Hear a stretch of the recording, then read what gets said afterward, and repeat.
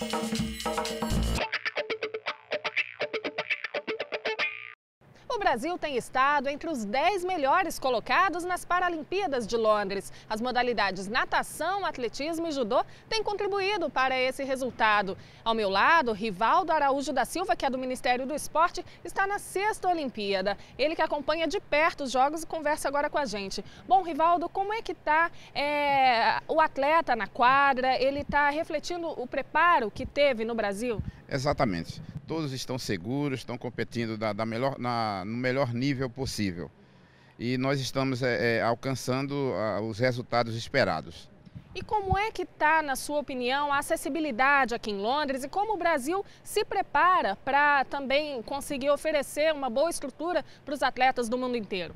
É, a acessibilidade aqui é muito boa e nós estamos é, com a equipe de observadores é, para ver isso, para observar os mínimos detalhes, para incorporar os nossos projetos no Brasil, para que nós não, não pequemos nessa parte tão importante para a Paralimpíada. Agora, o que mais te chama a atenção? O, o sistema de transporte, ele é eficiente, enfim, rampas de acesso. Como é que está lá dentro do Parque Olímpico?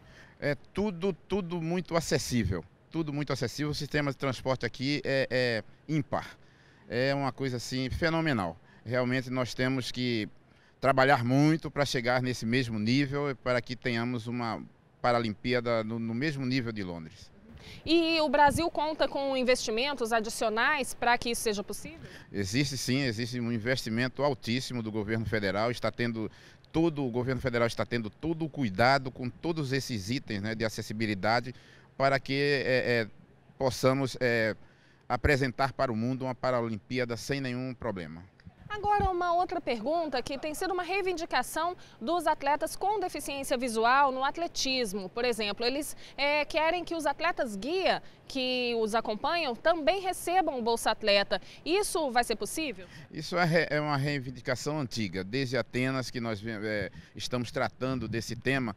É, só que não é tão fácil porque ter, teríamos que pedir uma alteração na lei. O programa Bolsa Atleta foi instituído por lei e para haver qualquer mudança tem que haver haver uma mudança na lei, mas está sendo estudado com carinho no Ministério do Esporte é, essa questão do, da, do Bolsa Atleta, do, para o guia, porque o guia também é um atleta do mesmo nível do atleta que ele conduz. Agora, voltando para os nossos resultados, ainda é possível sonhar com a meta de ficar em sétimo na classificação geral? Totalmente possível.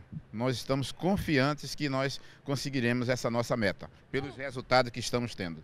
Muito obrigada pela participação. De Londres, Ana Gabriela Salles. あっ!